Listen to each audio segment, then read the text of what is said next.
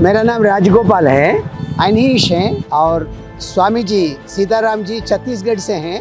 तो ये सब एकता परिषद की टीम है। आदिवासियों में जो जनजाति है, उस मुद्दे पर बात हुई।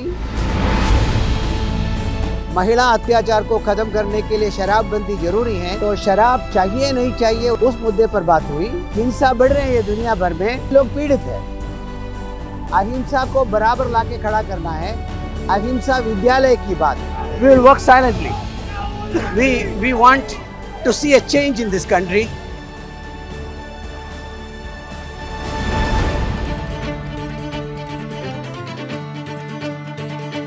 इस देश में जो प्रजातांत्रिक, जो स्पेस कम हो रहा था, जिस कारण से सारे सामाजिक संस्थाओं के लोग, विपक्ष के लोग, सभी लोग परेशान हो रहे थे, एक प्रकार उनको भी ताकत मिला है कि पूरे ही सिविल सोसाइटी ऑर्गेनाइजेशन को जान मिला है। देखिए, इस यात्रा में सिर्फ़ शहर का लोग नहीं, पूरा भारत की ग्रामीण क्षेत्र का लोगों का भी जो उत्साह है, वो अलग अलग प्रकार से आपको दिखाई पड़ेगा। जोड़ो जोड़ो।